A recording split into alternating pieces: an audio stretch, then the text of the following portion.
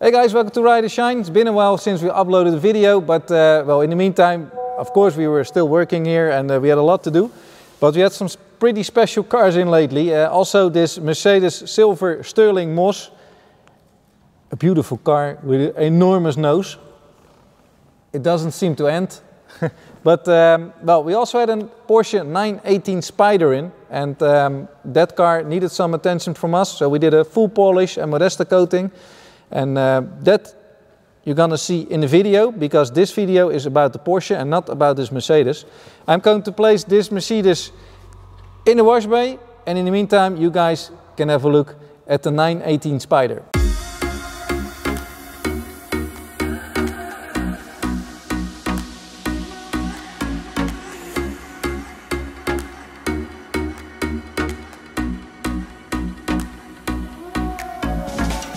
But first, let's start this baby up. Oh, One of the nicest things about my job is uh, that we ride very short distances in these cars.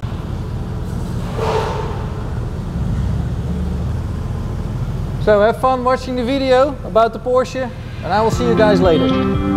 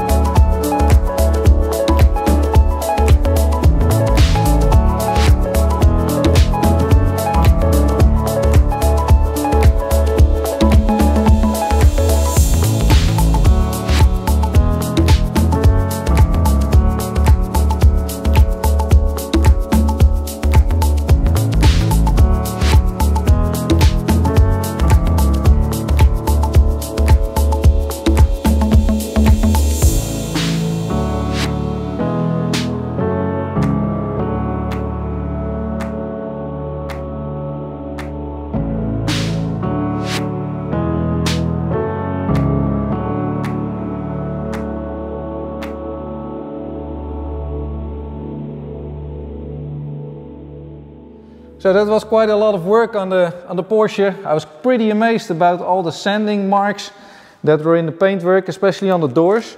And uh, remember, it came from Porsche like that. So it hasn't been polished before by another company whatsoever. Um, I have to keep my attention on this one because we have to close this car, otherwise I can't wash it. But this is um, pretty amazing system. So, but I have to keep in mind how we're gonna close it. So the steering wheel's down, yeah. Put the handle back. So now it's really closed. But uh, well, the Porsche came out pretty amazing and you can see uh, the end result uh, on the Porsche after this. So yeah, it's closed. I'm gonna start working on this one. We're also gonna put this one in a full video about the washing, the detailing, everything, also the coating, and we're gonna uh, show you guys how it looks on, on the carriage. We're gonna do the wheel arches, everything. Everything's gonna be on video. So have fun with the end result on the Porsche 918 and I will see you guys in the next video. And don't forget to subscribe and put a thumbs up. Bye bye.